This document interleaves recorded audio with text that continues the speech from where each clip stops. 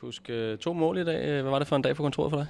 Ej, det var, det var egentlig bedre dag, kan man roligt sige. Altså, det var nogle dage, hvor det fungerede for holdet rigtig godt, og det også fungerede for mig, og, og jeg er selvfølgelig rigtig glad lige nu, og jeg får scoret øh, ja, øh, to mål herinde øh, i parken, så, så det er selvfølgelig en uh, super dejlig fornemmelse, jeg står med lige nu.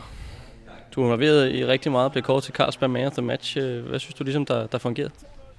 Nej, men jeg synes egentlig, at, at man ser i første leg, at vi, vi kører bare øh, ja, Hobro øh, ned sådan rent fysisk og rent øh, løbemæssigt. Altså vi, det var lidt som også med nogle af de andre hold herinde. Altså, vi, vi har sådan lidt trumlet ned i første halvleg, og så i anden halvleg, så, så er chancen ligesom kommet, og det ser man også i starten af anden halvleg, hvor, hvor der kommer rigtig mange chancer, og vi får, får omsat nogle af de, de chancer, som vi ikke får gjort i første halvleg. Så på den måde, så, så har det været en rigtig god dag for ja, både mig, men også især holdet herinde. Altså, vi spiller en flot kamp.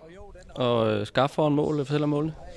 Nej, altså, jeg havde nogle, nogle chancer i første halvleg også, som, som jeg gerne ville score på, men, men så kommer det ja, lidt nemmere i anden halvleg, og Yusuf han får, får spillet mig godt, og jeg får egentlig holdt den der spiller væk, og så, så sparker jeg den egentlig bare ind. Så, så det var egentlig det første mål, og hvor man kan sige, at, at det andet mål øh, forsøger en 1-2 med, med Baskim, og han får så afsluttet, og så nogle gange, når man får scoret det første mål, så, så falder tingene også bare nemmere, og det er også det, man ser, at bolden falder ned lige pludselig, og så står jeg bare det rigtige sted og sætter bare en inderside på, så ja, så det var selvfølgelig dejligt.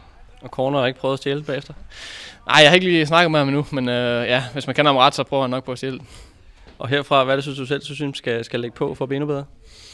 Nej, men jeg synes egentlig, at, at vi viser rigtig mange gode ting i dag. Øh, vi kan selvfølgelig blive lidt mere effektive øh, endnu en gang, som vi har snakket om tidligere, men, men sådan rent øh, spillemæssigt spiller vi en af vores øh, bedre kampe øh, i sæsonen, så på den måde så, så går det den rigtige vej, og vi skal bare fortsætte nu.